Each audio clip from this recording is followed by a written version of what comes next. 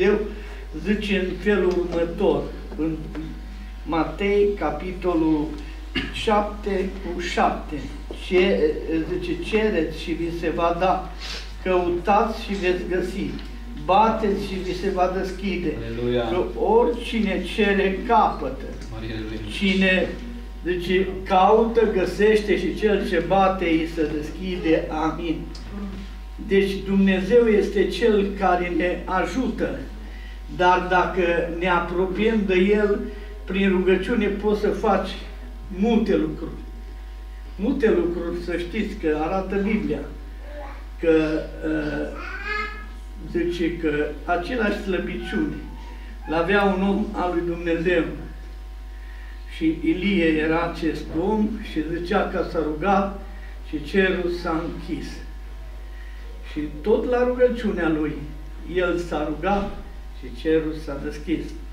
Și zice cuvântul Domnului, putem să citim acest verset, că mie îmi place tare mult să citesc uh, ceea ce arată Biblia și ce, cum spune ea. Pentru că dacă o luăm după Biblie, nu ne pierdem atunci, căci aici cuvântul lui Dumnezeu este viu și lucrător Aleluia. și are putere în viața noastră. Și cuvântul lui Dumnezeu spune așa, căci cuvântul lui Dumnezeu, Ilie era un om supus acelor slăbiciuni, ca și noi, și s-a rugat cu stăruință să nu ploaie. Și n-a plouat deloc în țară trei ani și șase luni. Amin.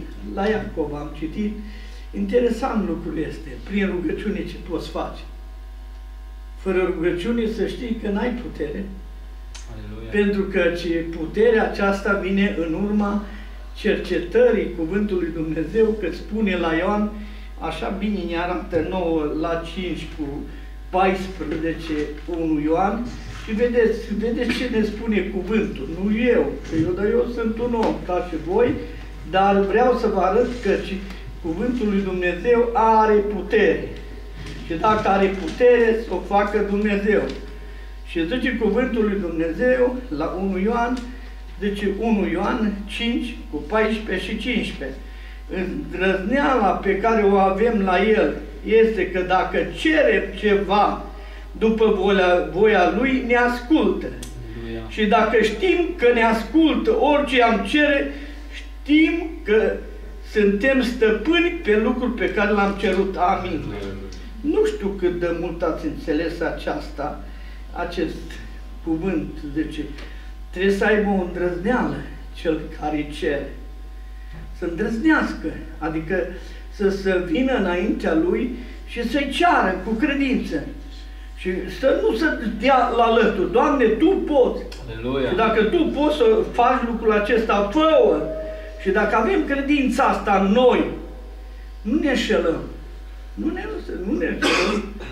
Că este un cuvânt în care spune cuvântul lui Dumnezeu, nu știu de ce trebuie să mă duc acolo, că nici n-ar vrea să fiu mult, ne ducem puțin pe la Luca, la capitolul 18, în care zice, Iisus, la 18 cu 1, Iisus le-a spus o pildă ca, ca să le arate că trebuie să se roage necurmat și să nu lase, să nu se lase. Aleluia. Pentru ce ucenicii aveau nevoie?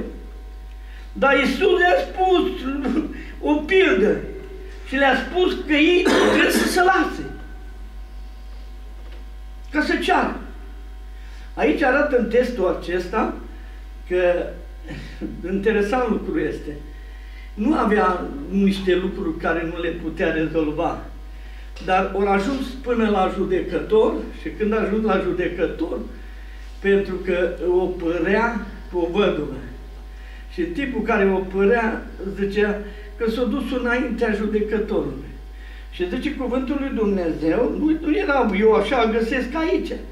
În cearta aceasta era o vădură care vrea, venea des la el și zicea, fă dreptate în cearta mea cu părâșul meu. Oh, dar ea nu ceta. Și zice cuvântul lui Dumnezeu, nu ceta, nu ceta, că voia să-i facă dreptate. Totuși, pentru că văduva aceasta mă tot necăjește, îi voi face dreptate ca că tot vine și mă bate la cap. Om nepocăit. Om care nu știa că, că ea, vinea la el plângându-se. Și spunea, te rog, fă Și pentru că l-a bătut și a venit cu stăruință înaintea lui, nu i-a fost rușine. Și știi ce zice omul acesta care nu se temea de, de nimeni și de oameni nu se rușina?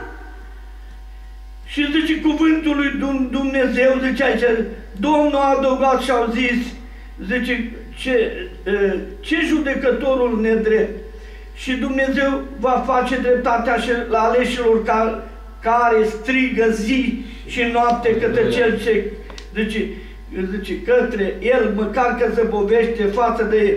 Vă spun că le va face dreptate în curând. Dar când va veni Fiul omului, va găsi el credință. Amin.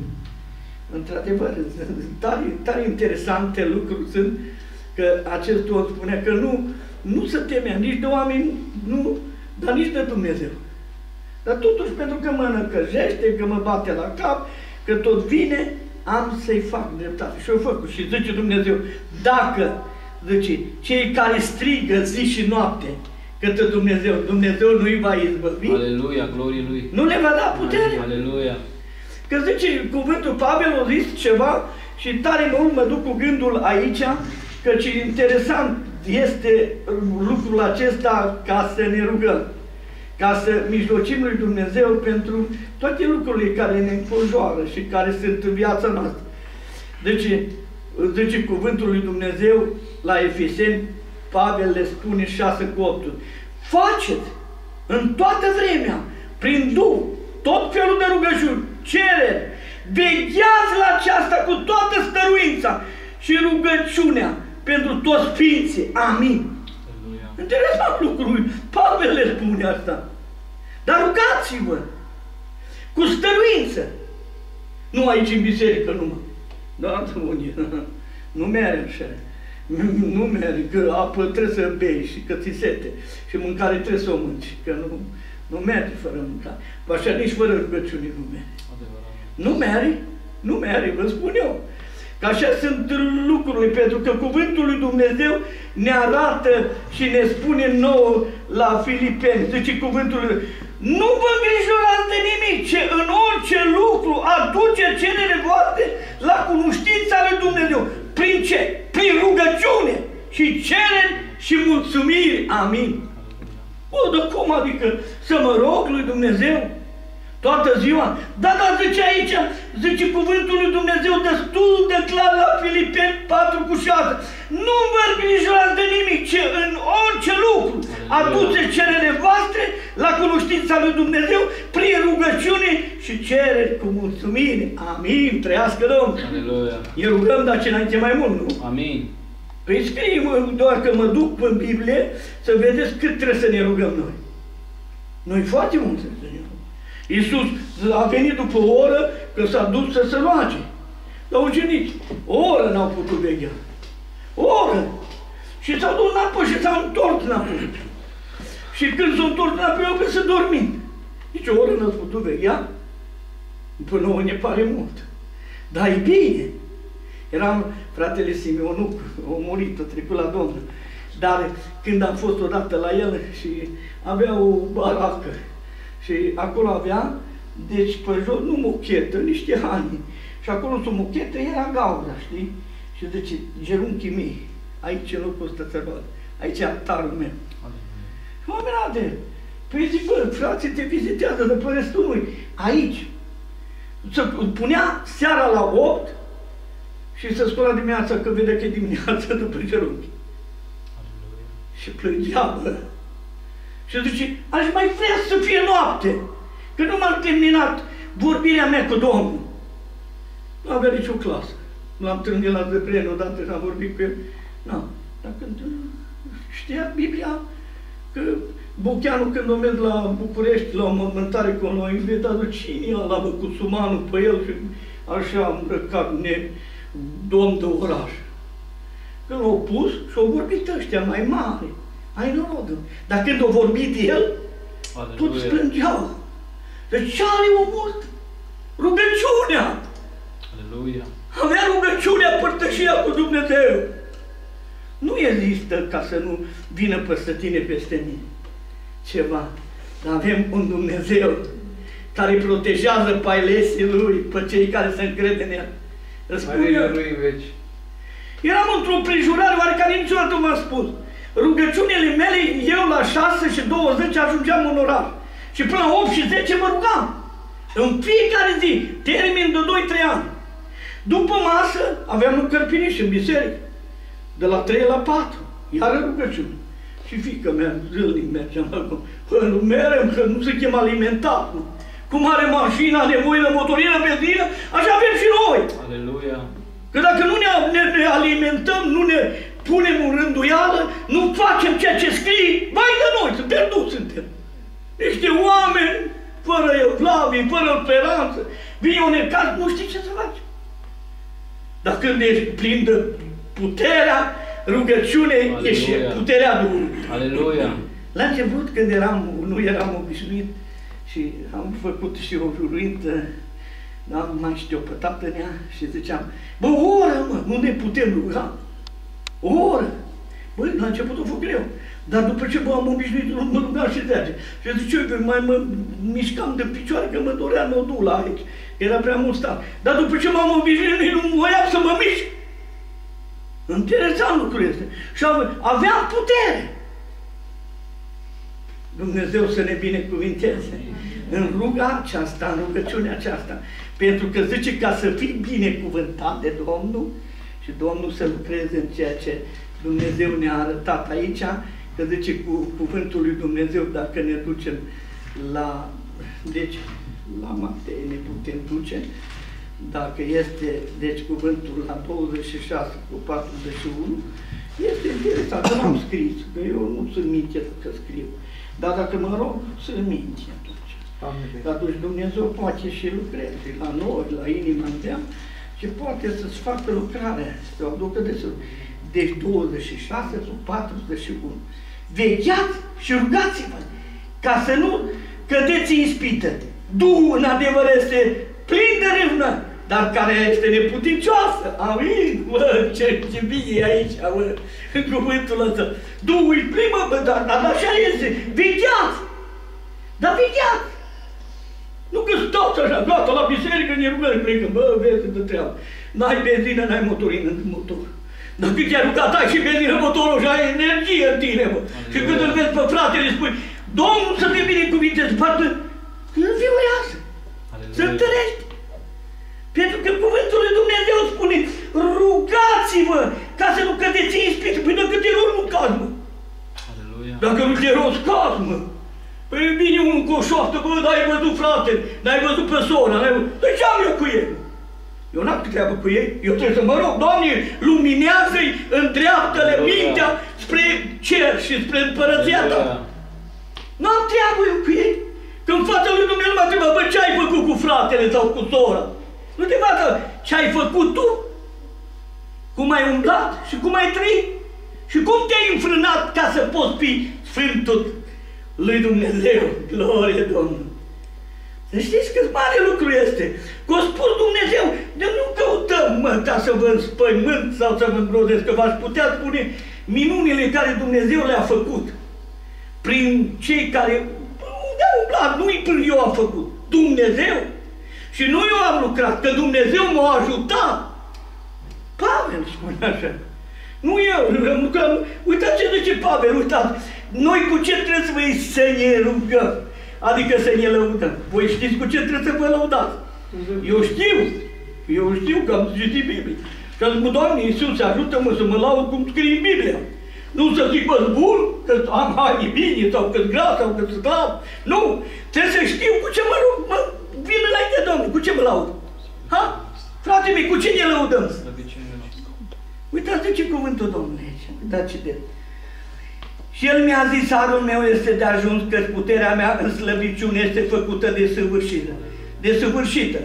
De aceea mă voi lăuda mult mai bucuros cu slăbiciunile mele, pentru ca puterea lui Hristos să rămână mine. Amin. Bă, ca să rămână puterea lui Dumnezeu, arată-te că ești. Aleluia. Nu ești un om destul după voia Domnului. Și Domnul te va îmbrăca cu putere. Nu trebuie să ne răudăm. Sau dacă zicea cineva, era într-o biserică, Doamne, dăm îndelugă răbdare că mă cer cu soțul și cu copiii, nu-i pot, Doamne, suferi. Frate sau sore, nu e așa. Nu e așa, biblic? Că fratele a spus că frătora, Doamne, dă-i năcaz că tare strigă sora asta, că tot e de așa. Dă-i năcaz, Doamne. Dă-i năcaz, Doamne. Că cere răbdare de la tine.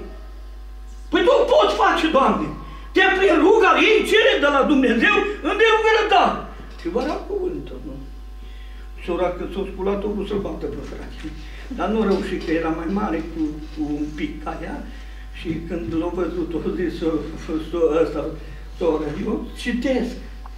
Și tu, eu citesc și tu să iei aminte la ce scrie Biblia. Și atunci vei fi fericire de tine. Zice cuvântul Domnului la Roman 5 cu 4, zice sau și cu 3, ba, mai mult ne bucurăm chiar în necazul nostru, că știm că necazul aduce răbdare. Păi nici nu vrea să fie răcășit și bolnav. Și frate, dă-i Doamne necaz, că să aibă de lungă răbdare. Eu ce Păi nu înțeleg vorbiți că tu, frate, bine. Deci hai să-ți notezi undeva și când mergi acasă, zi de 50 de ori versetul. Și când o vin după câteva ori la adunare, s-a întâlnit cu ea și zice, frate, ai dreptate. Că zice, că zice cuvântul că prin necazuri, zice, zice, aduce Dumnezeu uh, această bucurie și această răbdare. Prin necaz. Ai răbdare. Dar dacă nu treci prin necaz, suferință, probleme, mai ai răbdare. Doamne, nu mai ne da probleme, numai bani și mâncare multă, că să ne îngrășăm, facem niște fără. Nu, Doamne, dă-ne, Doamne, putere, că dacă trecem până ne avem, să-ți mulțumim pentru ce avem. Aleluia. Trăiască Domnul. Aleluia. Frații mei, cuvântul lui Dumnezeu ne scoate la, la lumină. Nu eu scot pe nimeni. Să știți? Să fiți binecuvântați de Domnul. Voi știți ce trebuie să faceți? Biblia ne spune. Nu că fratele zice aici ceva, zic că Biblie. Și atunci eu cred. Trăiască Domnul. Dar dacă zice, păi noi nu vorbim ca să-i placă cuiva. Noi vorbim biblic ceea ce ne spune cu Duhul Sfânt. Și Duhul Sfânt știți ce zice? Cum, cum trebuie să vorbim noi și cum să fie credința noastră și nădejdea noastră în Dumnezeu, care își face lucrare, zice. Și fiindcă Dumnezeu ne-a găsit vremi să ne încredințeze Evanghelia, căutând să vorbim așa cum place, nu oamenilor, ci lui Dumnezeu, ne cercetează inimile. Și cuvântul lui Dumnezeu spune într-un verset, de aceea mulțumim fără încetare lui Dumnezeu, că atunci când am primit cuvântul lui Dumnezeu, am auzit de la, zice, auzit de la noi, l-ați primit, nu ca pe cuvântul oamenilor, ci așa cum este în adevăr, ca pe cuvântul lui Dumnezeu care lucrează în voi, care credeți. Amin. Cuvântul. Și atunci să fim binecuvântați ce facem? Dar ziceți voi, nu biblic, dacă știe, deci cum facem noi să fim niște oameni care Dumnezeu să se laude cu noi și să fim binecuvântați și întăriți în nevoie, în necaz, în probleme, că acolo e problema. E problema, să știți, e problema. E problema, cuvântul Domnului. Băi, eu nu știu de ce așa îmi place Biblia asta, că Dumnezeu m-a dat un săpuș, dar Doamne, ține Doamne, să fie așa, ca să mă duc înainte. N-ar vrea ca Dumnezeu să mi dea. E rău că nu. Că e doare, dar n-are nimic. Că numai așa ne putem apropia de Dumnezeu. Că citind, studiind, cercetând Scriptura, care în ele găsim viață veșnică.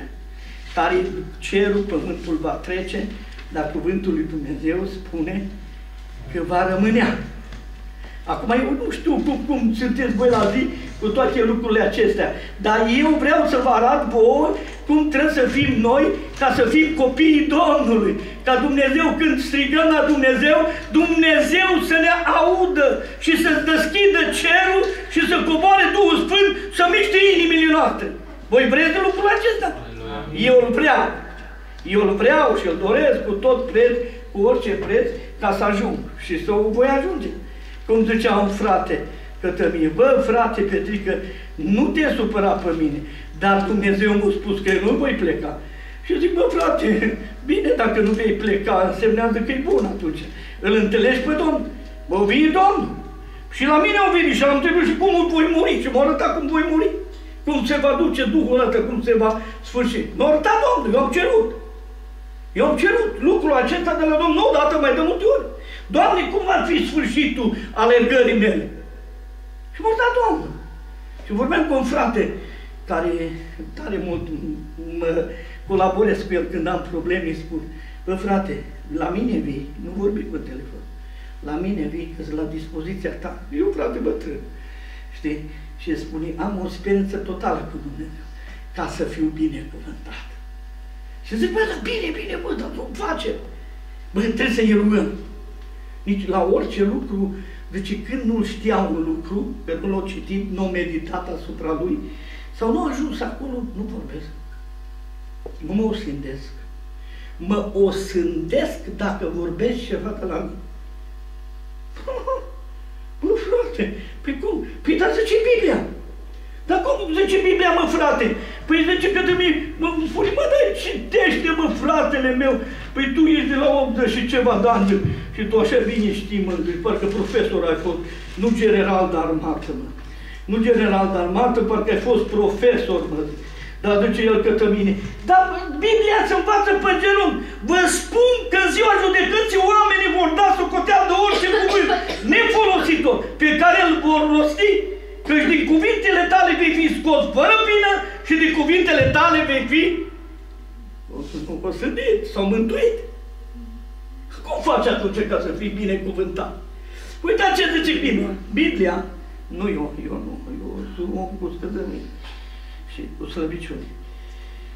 Deci cuvântul Domnului așa, așa vorbește Domnul. Blestemat să fie omul care se încrede în om și care se sprijinește pe muritor și să bate inima de la Domnul.